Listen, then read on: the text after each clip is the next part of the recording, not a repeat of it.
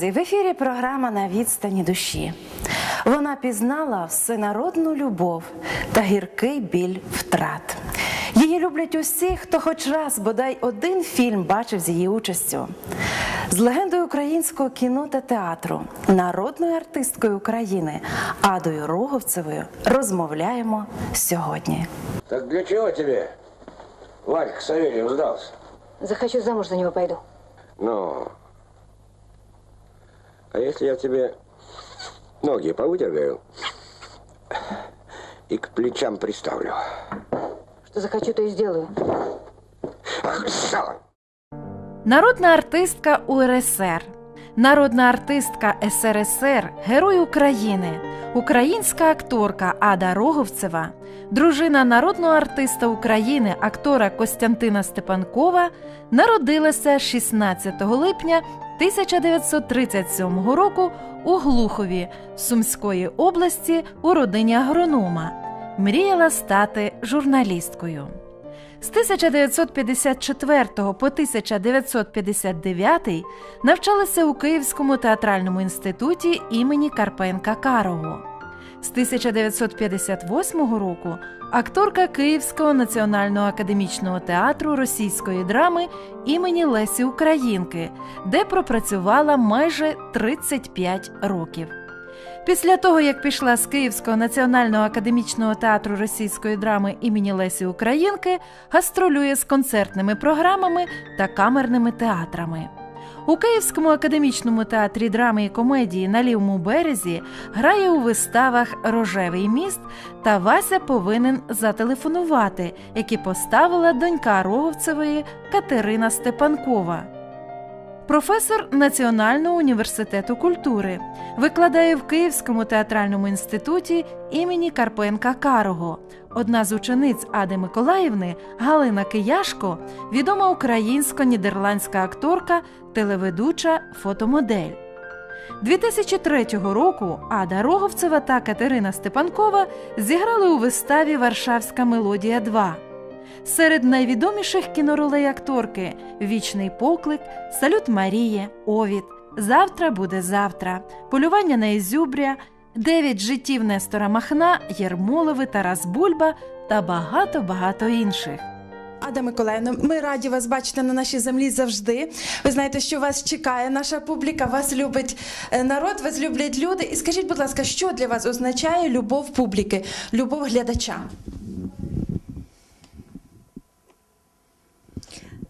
Ну, що значить от матері, коли її любить дитина? Що значить, коли дитина, дитину любить мама, сестру брат, брат сестру? Коли є от якесь таке, знаєш, спілкування душа в душу, серце в серце. Коли мені сьогодні сказали, я там заходила в одне місце, і мені тут у вас у Тернополі кажуть, о, от і прийшла знайома. Коли ти заходиш як знайомий, як е, близький друг, як людина, яку знають, не просто так десь там гарне обличчя, а щось десь колись зачепилося душа за душу, серце за серце. Мені хочеться думати саме так про моїх глядачів, тому що. Особливо тут в Тернополі. Я тут майже всі свої ролі зіграла, коли працювала в російській драмі. Ми приїздили сюди, тут грали всі вистави, всі свої ролі. То для мене рідне це місто, як всі міста України виявились мені рідні, бо скрізь я була, я давно живу і багато-багато років на сцені. І через те, а тим більше, що кіно, воно зразу заходиш в кожну оселю і стаєш свої, своїм. Да, своїм. Так що це моє життя, моя професія, але знаєш, я ніколи професію не не, не ділила от життя і професія. Через те я якось така не дуже артистка. І артистка, коли в житті так само не виступаю, як пава, не красуюся. Мені так і не, нема чим особливо, я ж не сумська Оля. Але е, інша, інша в мене зовнішність, інша природа, інше е, завдання на світі над цим. Я не, не, не співставляю, ні, боже, я дуже люблю Олю. Але є дуже красуні такі надзвичайні. А є люди, актори, які Євстігнєєв, колись тоді ще, знаєш, такі Леонов.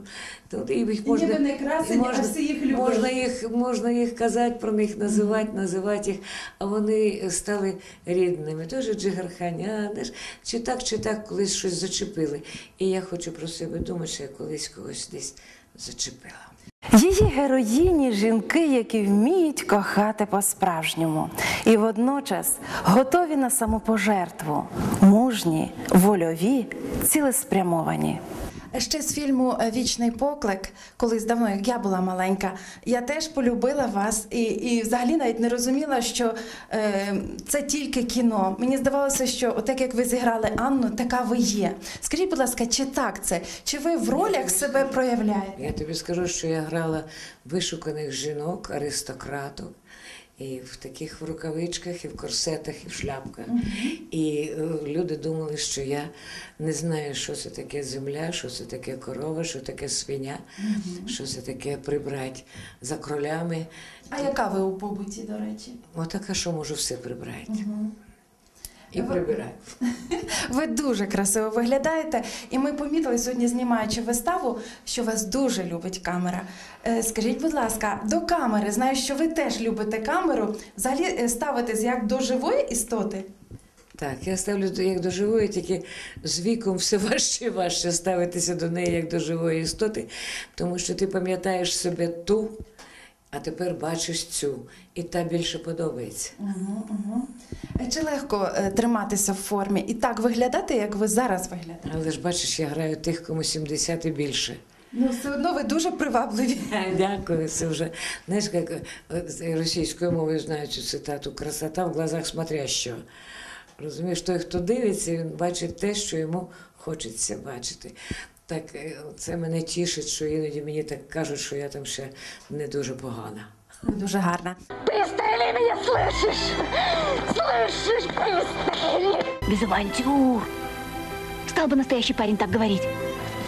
И уж во всяком случае на полу бы он, конечно, не спал. Я люблю тебя. Я всю жизнь люблю тебя. Уходи, Андрей. Слід зазначити, що доля до акторки була прихильною. У 23 роки їй дісталося звання заслуженої артистки України. Більше того, у 30 років вона стала народною артисткою країни, а ще через 10 років вже народною артисткою СРСР. Хочу запитати таке: де легше, де приємніше і, можливо, де зручніше для вас працювати у кіно чи у театрі? Кіно легше. Чому? А тому що так не виходиш і не крутишся на попі три години і тримати треба зал в напрузі, інакше люди просто підуть. Я нещодавно була на такій виставі, коли люди не я грала. Я була глядачем, коли люди виходили з зали, не цікаво і щось вигукували, що погано воно. Це страшне, це найстрашніше. А щоб люди не, не йшли, і щоб люди, хоча б виходячи, винесли щось для себе корисне, приємне, потрібне. От, над чимось задумалися, от, чомусь посміхнулися, знайшли якусь розраду, то це треба, я нафарбована ще як не що, і мокре. Це зрозуміло. Тому що ви працювали, Це відпочивали ті, що були в. Така фізична і психічна робота. А в театрі, в кіно чому легше? Тому що там, по-перше, ти потрапляєш. Ну, ну якщо на фабриці ти граєш робіт, то, на фабрику приходиш, там допомагають стіни. Якщо в якийсь науч, науковий заклад, то приходиш туди. Ну там бібліотека, то бібліотека, і, і там е, допомагає оця обстановка. От, по-перше. А по-друге, це ж коротенькі такі дублі знімають.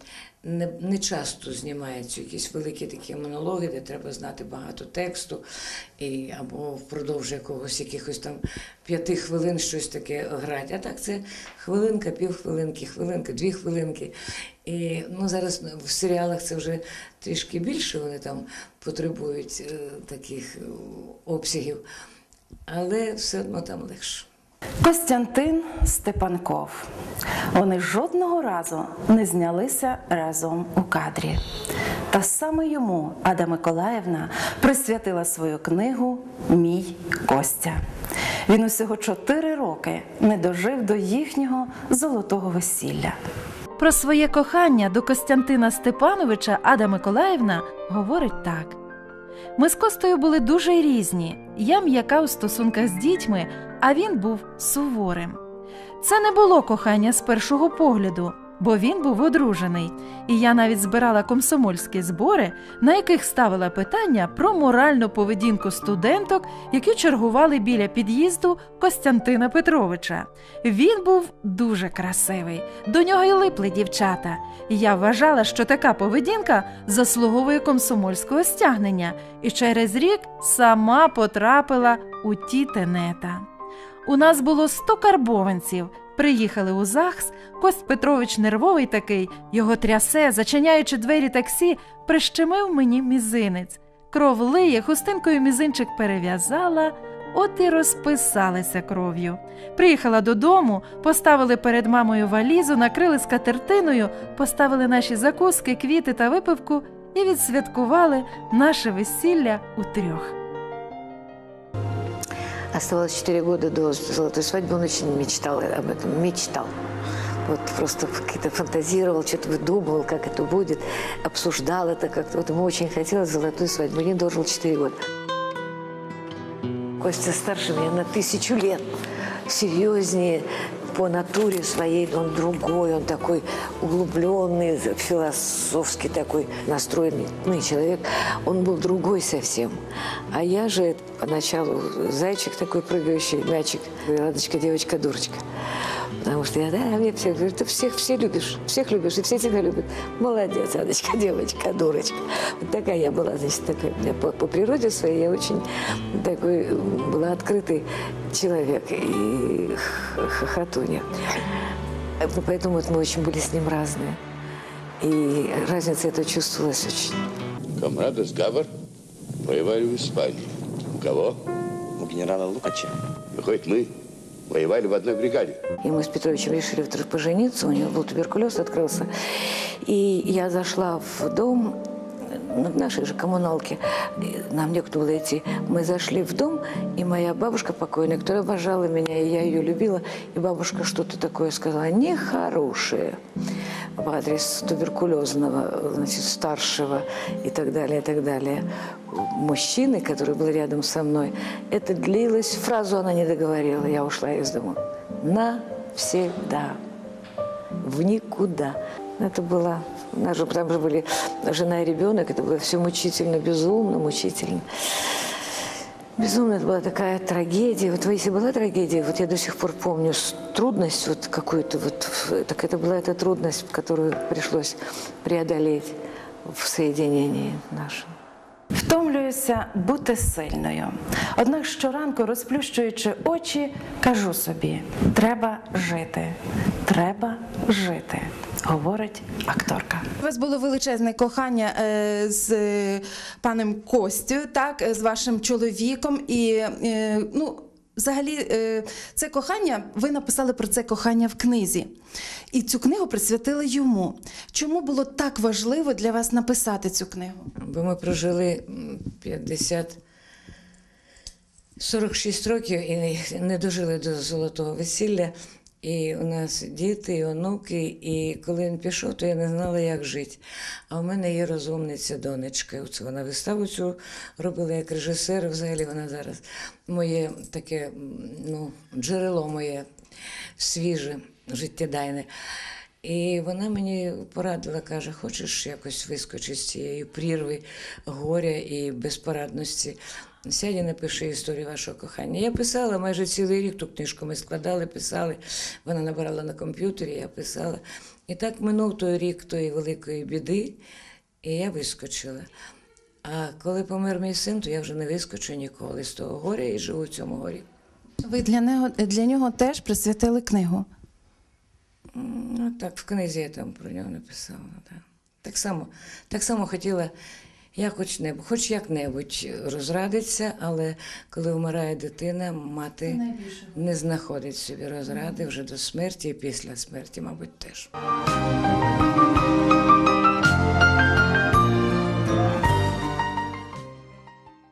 У 50 вона почала писати вірші, а у 60 отримала останню пропозицію руки і серця. Не знаю, чи це правда, але пишуть, що ще в 60 років вам зробили пропозицію руки і серця. Так написано. Скажіть, будь ласка, як ви до того поставились? Дурник, я сміялась. Якщо це й було, то я сміялася. Тому що. Ну, а що ти кажеш? Виходять же в 60. Ні, я нічого не маю проти. Але я дуже сміялась, сміялась би. Після 34 років роботи у театрі вона покидає театр. За її словами, тому, бо там вже виявилася нелюбов. А там, де не любов, жити не можна. Театр ведь это самое, самое, самое, самое конфликтное на Земле. А вот коллектив стационарный, академических театров, это очень организм, он ранимый, больной, как правило, потому что самолюбие человеческие, они необозримы, вот, не в своем великодушии, не в своей жестокости. И всегда кто-то попадает под жернова.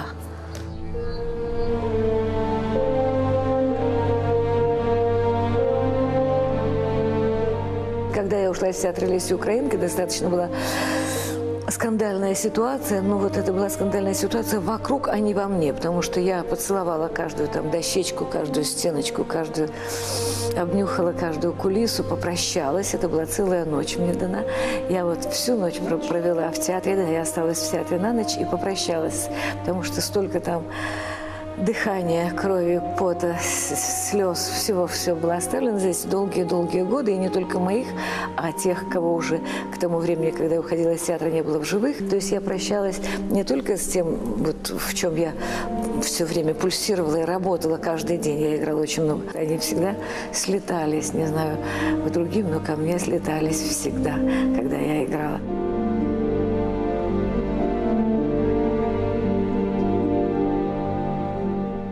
Вот есть какие-то вещи, когда нужно принимать решение, да, и его отжить.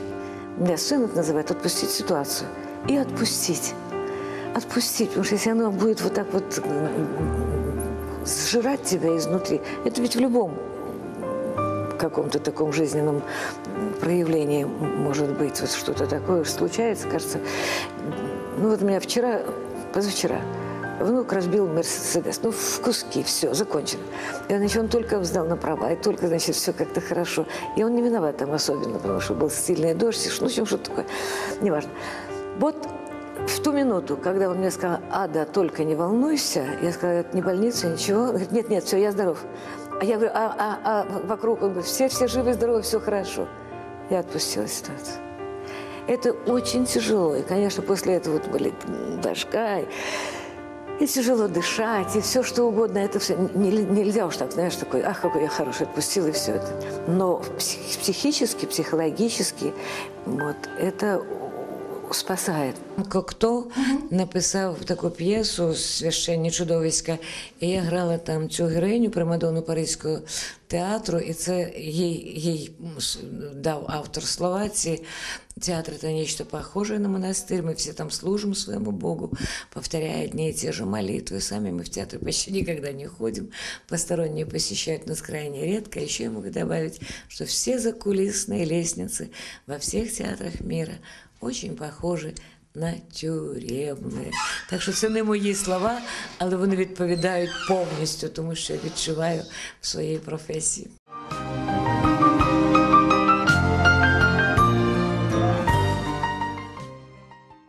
Вистава називалася Похоже на щастя.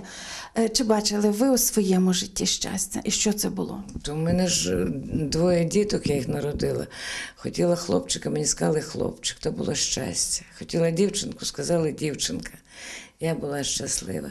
А потім троє онуків. І це коли говорять, що народилося твоє дитя, то чисте щастя. Оце те, що чисте щастя. А Антон Павлович Чехов говорив: даже в человеческом счастье, господа, є что-то грустне, то від цієї печалі, від цього якоїсь тривоги. Ви бачите, коли всі мадони, вони ж всі стривожені на іконах. Немає Мадони, що посміхається і щасливо задоволена.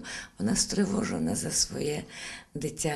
То навіть в цьому щасті є велика-велика тривога.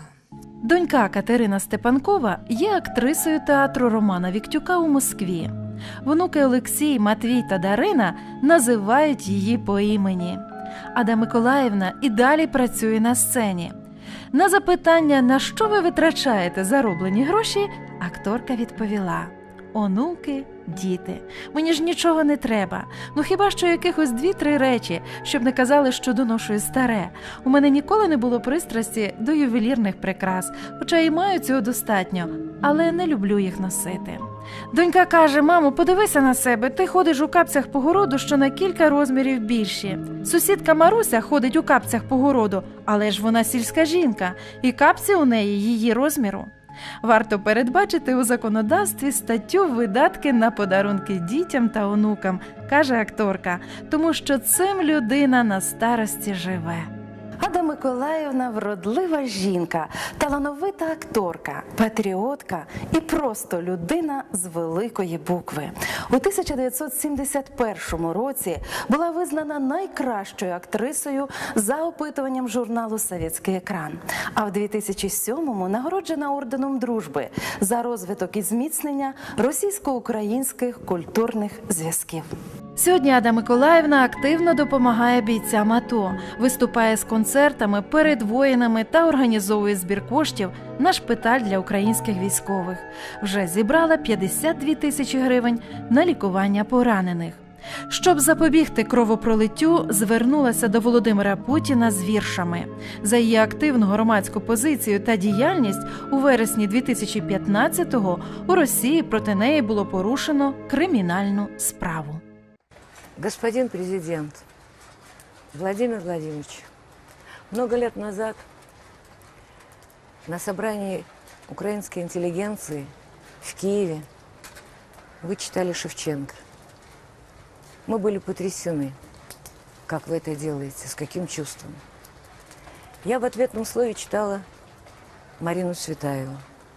Если душа родилась крылатой, что ей хоромы и что ей хаты, что Чингисхан ей и что Орда. Два на миру у меня врага, два близнеца, неразрывно слитых, голод голодных и сытость сытых.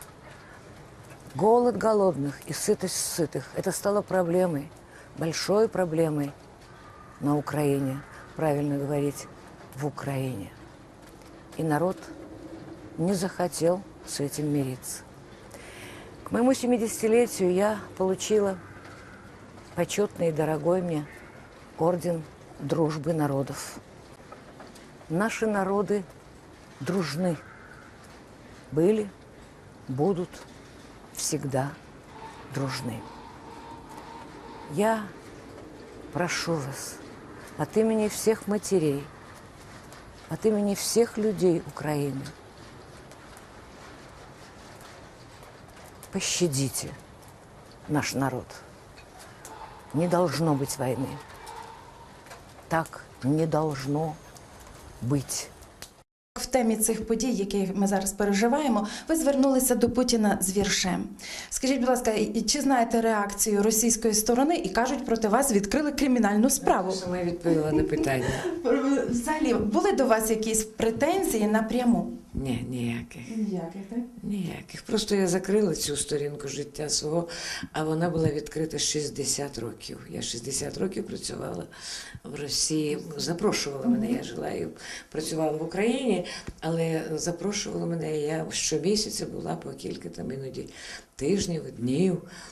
Місяців бувала на зйомках і е, грала у виставах. Так що з Росією була пов'язана моя творча діяльність, творче життя.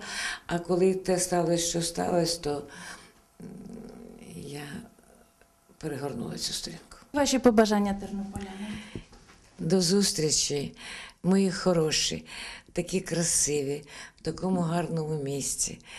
Ну, я не знаю, ми всі молимось за цю Україну нашу страждальну. Ми молимось, щоб якось люди отямилися, ті, від кого залежить наше майбутнє, щоб вони щоб з'явилася ота молодь, на яку можна спертися, щоб вони розумненько взялися за хазяйнувати на цій прекрасній, особливо зараз, коли їдеш, то хочеться кричати, хочеться з'їсти ту землю, тому що вона так цвіте і так, так щось до тебе промовляє. Я ж є, я ж є. Люди, давайте ж будьте гідними мене, моєї оцієї краси, моєї могутності, моїх можливостей. Мені здається, що на цій землі мають жити щасливі люди, і Бог зглянеться над нами, мені здається. Ми вам бажаємо довголіття і ще довго нас радувати своєю присутністю, своїм талантом і своєю красою. Ви неповторна, ви наша легенда, українська легенда. Дякую вам. До зустрічі! Ось такою, друзі, ми побачили легенду українського кіно і театру, патріотку і просто прекрасну людину Аду Миколаївну Роговцеву. Вона пообіцяла, що неодмінно знову завітає до Тернополя. Ну а ми запевнили, що неодмінно дочекаємось її. З вами була програма на відстані душі. Завжди ваша Оксана Павлишин. На все добре.